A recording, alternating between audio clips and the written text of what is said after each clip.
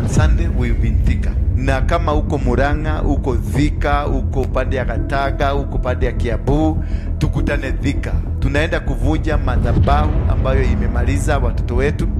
Our young children wamekuwa kwenye mambo ya lesbianism, gay, alcoholism, bangi, vitu vibaya vimetendeka. Wengine unasikia wanapatiana wazazi wao, they want to give their fathers na wamama wa- their mothers to the devil.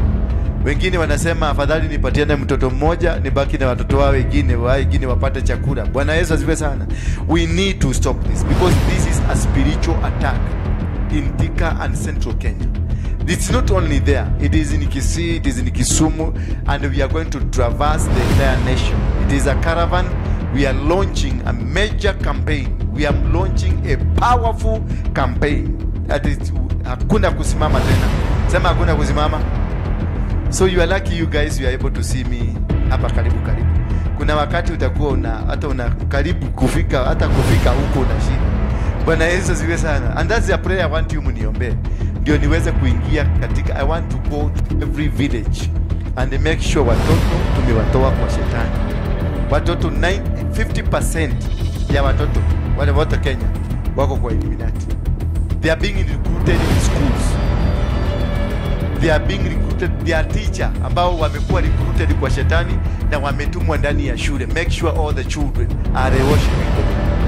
They are recruited in the village. They are recruited, unakuta kuna party party, wedding party zinaitwa, watoto wanaitwa party, wanaambia dress code ni nguo nyeupe, dress code ni this, party white, party code Those are demonic parties and it's um, the agenda is to make them waingie kwa shetani. Bwana Yesu asifiwe. So let us team up together. Tushikane mikono pamoja. Support me, I will support you, then we walk so that we can be able to redeem our country. It's good thing that God has revived the fire. Moto inawaka kila kona. Wachungaji watainuliwa kula kila kona. The wachungaji ambao watafanya kazi without looking for money, looking for God. Bwana Yesu asifiwe sana.